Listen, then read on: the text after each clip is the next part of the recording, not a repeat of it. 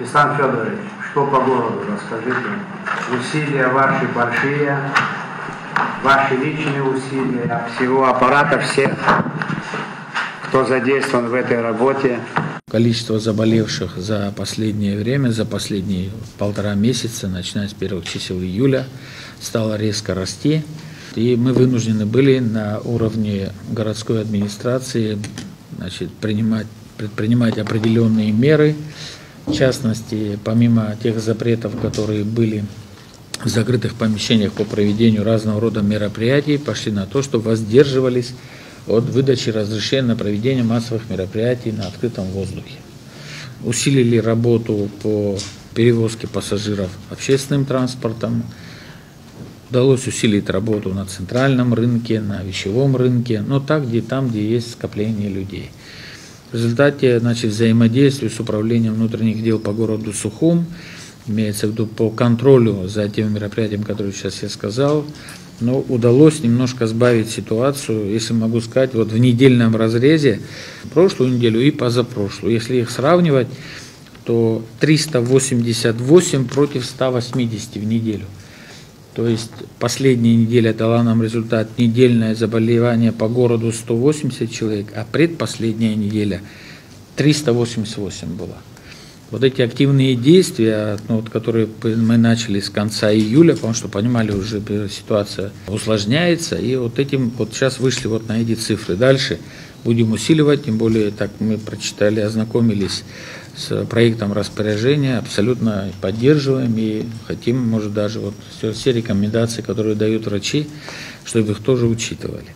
Значит, по городу Сухум, если об общей цифре сказать, что на сегодняшний день количество заболевших это 9443, выздоровело 7894, в настоящий момент болеющих ну, на понедельник, потому что все-таки данные корректируются, 1658, из которых, к великому сожалению, детей 155 и взрослых 1503.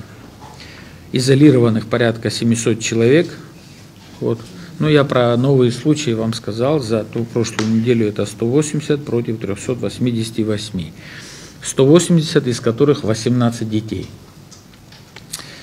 Ну и нехорошая цифра касаемо летальных случаев. Вместе у нас статистика идет вместе с Сухумским районом 132 человека за весь период.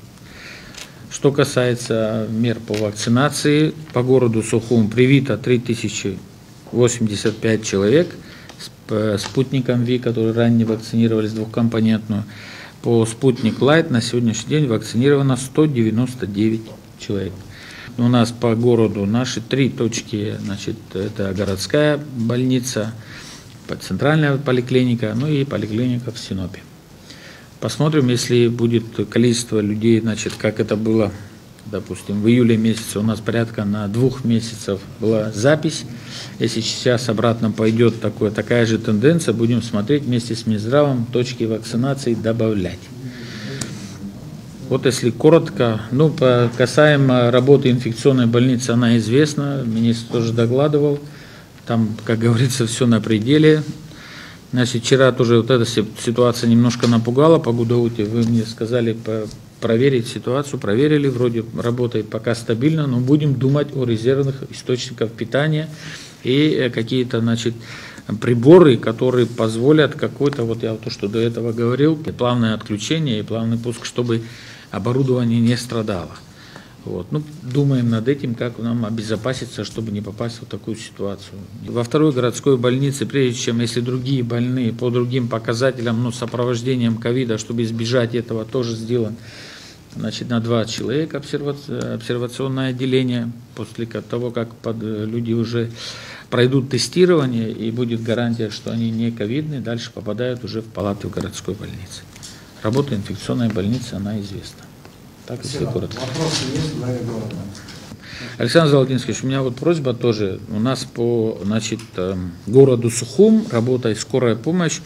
За последнее время усилилась и нагрузки усилились вдвое на скорую помощь. Это, значит, я так понимаю, нас подгружает немножко новый Афон, но и не потому, что у нас количество увеличилось больных и выездов. Региональные перевозки включились, участились. Сухум это не выдержит. Если там порядка двух тонн в месяц мы выделяли на это дело, сегодня пошло 4. И особенно, что касается Афона. Я считаю, что давно уже надо было бы в Афоне вот такую точку забора тестов, определения, может даже и амбулаторный, вот как здесь организован в Сухуми, перераспределить нагрузку скорой помощи. Если у меня город станет э, по скорой помощи, ну тут последствия даже отказать не получается, потому что это такая услуга, сами знаете, скорая помощь, а нагрузки и все остальное растет.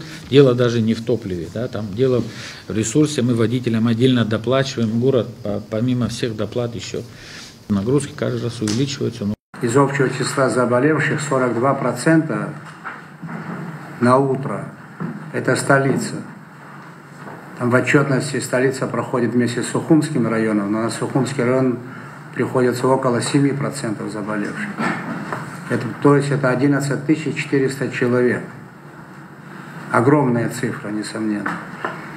И персонал, который задействован в этом он огромные нагрузки выносит и справляется на сегодняшний день с задачами. То, что по фону сказано, но обсудим.